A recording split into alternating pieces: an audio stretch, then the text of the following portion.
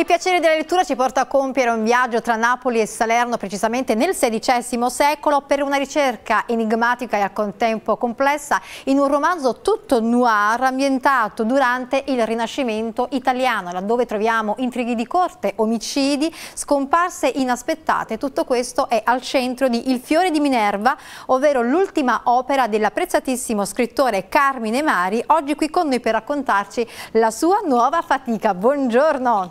Grazie. Buongiorno a voi, grazie per l'ospitalità. Dunque, il fiore di Minerva, se siete d'accordo, io direi di immergerci nel book trailer e poi torniamo qui in studio con te e con i nostri telespettatori di Mattina Live. Vediamolo insieme.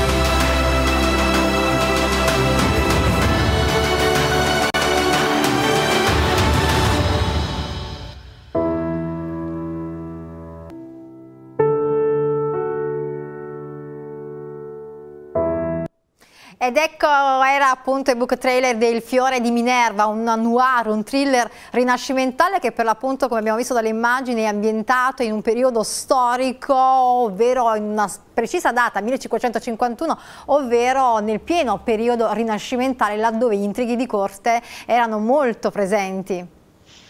Sì, in effetti la data è nata per caso, però poi approfondendo con gli studi mi sono reso conto che è, è la data che dà inizio al secolo di ferro, cioè allo scontro fra due civiltà, quella cattolica e quella luterana. E il regno di Napoli era al centro, era una pedina fondamentale nel, nello scacchiere europeo, facendo parte dell'impero spagnolo. Napoli con la sua città e con i suoi porti e con le sue risorse erano uno stato che era, diciamo, era strategico dal punto di vista militare e commerciale. Il Fiore di Minerva è, è un romanzo, come dicevo, ambientato nel XVI secolo e vede come protagonista Hector dell'Estremadura, un ex conquistador di ritorno dalla Spagna, dalla, dalle Indie occidentali, che si mette a servizio di uno dei principi più potenti del regno di Napoli, il barone Ferrante Sanseverino. Con eh, il suo brigantino deve pattugliare le coste e proteggere la popolazione dalle, in, dalle incursioni barbaresche. Durante un giro di perlustrazione manda a una nave che sembrava cioè, a, ostile alla, al nostro personaggio. E, mh, l'uccisione mh, del comandante, la sparizione di alcuni documenti trascineranno Hector in una serie di indagini che si accavalleranno con quelle di un cold case che trova le, le ragioni nella nella, nell'esodo e nella cacciata degli ebrei dalla Spagna, oltre alla sparizione di un misteriosa sparizione di uno scheletro e in seguito alle vicende di questa erborista, questa bellissima erborista Costanza Calenda che insegue un po' il sogno di un'accademia tutta al femminile. Questo è un po' il succo della trama. Un succo laddove appunto lo ricordavi sarà appunto il conquistador, no? Hector poi sì. ad indagare e incrocerà poi la sua vita con Costanza di cui si innamorerà, quindi c'è anche al centro una storia d'amore, c'è questa indagine complessa, questa storia, ma soprattutto una storia personale perché Hector troverà l'occasione attraverso questa indagine complessa di uh, indagare anche uh, sulle proprie vicissitudini, su se stesso.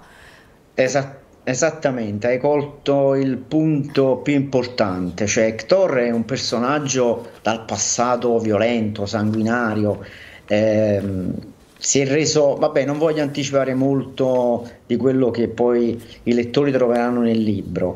E improvvisamente, tormentato da, da un incubo che ricorre sempre, si accorge che forse solo attraverso l'amore e non solo attraverso le opere, eh, ma attraverso l'amore riuscirà un po' a raggiungere la salvezza sarà il lettore poi a capire se esatto, la donna che diventa strumento salvifico, no? strumento salvifico della propria vita, che poi è un concetto che ritroviamo proprio un po' indietro di quel periodo storico, perché siamo, esatto. ricordiamo, nel XVI secolo, però c'è anche un altro tassello che sicuramente può aiutare a comprendere questo noir eh, del rinascimentale, perché c'è il fiore di Minerva. Ecco, col nostro eh, regista Salvatore Mondò stiamo ripercorrendo le immagini del book trailer, ma anche la copertina. Il fiore di, di Minerva, che dà appunto titolo alla tua opera, che significato assume in questo contesto? Beh, la scoperta è venuta un po' per caso, perché mh, studiando un po' mh, tutto ciò che apparteneva alla tradizione della scuola medica salernitana, ho scoperto che il fiore di Minerva, cioè la calendula in effetti, è il fiore utilizzato dalle, eh, dalle mulieres salernitane, dall'erborista a partire da Trotola del Giro fino ad arrivare a Costanza Calenda ed era il fiore dalla, dal quale si ricavavano degli oli, delle essenze che servivano a, a curare le patologie tipicamente femminili dell'apparato diciamo, riproduttivo femminile. Quindi il, il, la calendula è un fiore ricco di, di sfumature, un fiore anche a tratti sensuali. E di Minerva perché anche il nome Minerva è legato alla dea Minerva che era protettrice delle arti mediche nella scuola medica salernitana. Quindi, Quindi, è tutto un simbologismo, è tutta una simbologia sì. per rimandare alla cura no? dell'anima esatto. attraverso, il, attraverso, il, fiore in realtà si cura quelle che sono le ferite del momento. Eh, esatto. attraverso ecco, questa ricerca di questo enigma complesso eh, ci permette questo romanzo anche di compenetrare ma soprattutto di conoscere un periodo molto importante della nostra storia ma un periodo importante anche per il nostro paese. Prima facevi riferimento anche a Napoli, Napoli diventa location eh, continua no? in questo periodo storico, parlavi prima appunto della lotta tra eh, luterani e cattolici e in questo Napoli ben si inserisce in, in questo binomio. Napoli era senza dubbio la capitale a parte Milano, forse Roma per, il, per, per quello che rappresentava la, diciamo, il papato, il cattolicesimo, l'universalismo del cattolicesimo, Napoli era comunque una capitale culturale.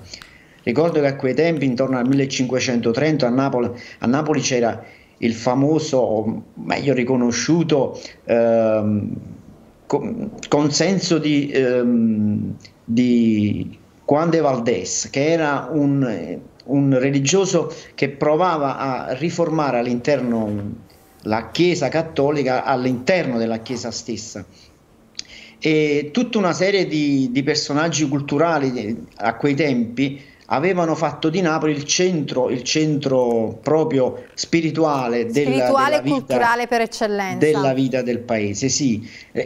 Non è, conserva... caso, è, vero perché non a caso ricordiamo che sia Napoli ma anche Salerno erano due località ben eh, contese sia dai francesi che dagli spagnoli. Infatti, eh, il regno di Napoli è stato fin dall'inizio eh, nelle mire del re di Francia. Eh, Francesco I e Carlo, Carlo V si, si, odiavano a morte e i francesi hanno più volte tentato di assaltare Napoli e il regno del sud per mettere le mani sull'Italia e sul Granducato di Milano. In questo si inserisce la figura un po' cavalleresca, eh, tardo rinascimentale di Ferrante Sanseverino che dedicherà tutta la sua vita a un progetto politico di opposizione, essendo egli un normanno di origine normanno, quindi, filo francese. E all'interno del, del romanzo di Fiodene il principe aleggia, aleggia, ma si può già comprendere quale po- possa essere poi lo sviluppo stesso del romanzo avendo, avendo a mente queste note storiche. Non solo il Fiore di Minerva ecco, è ambientato in questo noir eh, rinascimentale, questo thriller rinascimentale, perché ricordiamo che l'opera segue il grande successo di Hotel d'Angleterre che ha ottenuto il premio Giallo al Centro 2021, a dimostrazione di quanto i romanzi eh, di base thriller abbiano e sortiscano un grande fascino sui lettori. Sì, Hotel d'Angleterre anche con mia sorpresa, insomma, ha riscosso un po' di successo con il premio giallo al centro di rete, il premio nazionale diretto da per Giorgio Pulisci, insomma è stata una, una bella soddisfazione.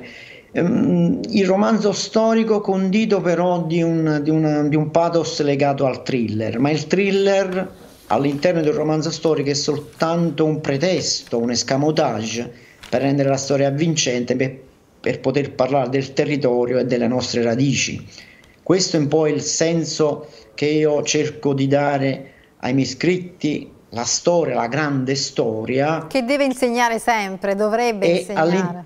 Che fa da cornice all'interno pic della piccola storia dei personaggi, perché ognuno di noi è il frutto della, della storia che, ci, che, ci, che uno, ognuno di, si porta dietro, si no? porta, sembra... Esatto, che si porta e dovrebbe poi avere l'onere e l'onore di tramandare.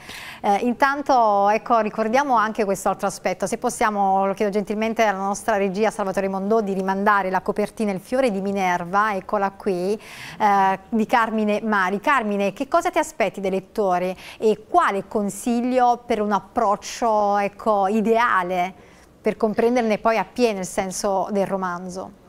Ma io credo che il romanzo sia stato scritto con un linguaggio piuttosto insomma, accessibile, non c'è niente di, di complesso.